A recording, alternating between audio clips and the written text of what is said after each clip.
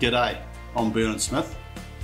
I serve here as a shelter specialist. Today we're going to talk about the relocatability of fabric shelters. So whether you're using a container mounted or a post mounted or a free span, any of our fabric shelters, they are all relocatable.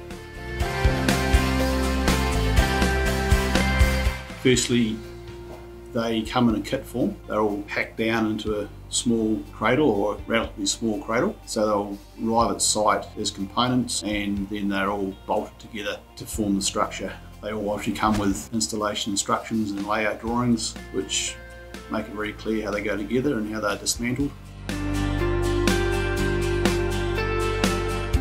The start off with the from the ground up the containers are bolted to either piers or to a concrete slab. That's not an option. You can use ballast to secure the containers. And then the shelters themselves are connected to the containers with either weld-on brackets or we have got a twist lock beam option. With a twist lock beam, at the ends is connected to the twist locks. On a 20 foot container, there's no other brackets, but on a 40 foot connected uh, container, the um, there's one bracket mid-span that you need to weld on. So we, we sell a lot of these twist lock beam options. So then moving on to the actual frame, up from the brackets, it's all bolted together. And then with the cover, it's quick release ratchet tensioners. Comparing this with like a steel structure or a shed, you haven't got all the individual pieces of tin to screw on. So yeah, you can move your workshop from one side to the other but obviously emphasising once again that if you're not needing to move or in the foreseeable future, these are actually a, a permanent solution.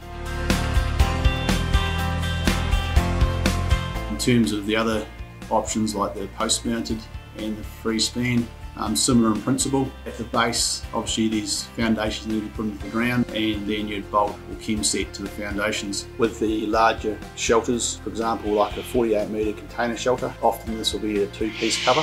When you get into these bigger shelters, we can discuss this sort of detail. Once again, it's still a lot quicker than having to screw individual pieces of iron onto, onto a shelter.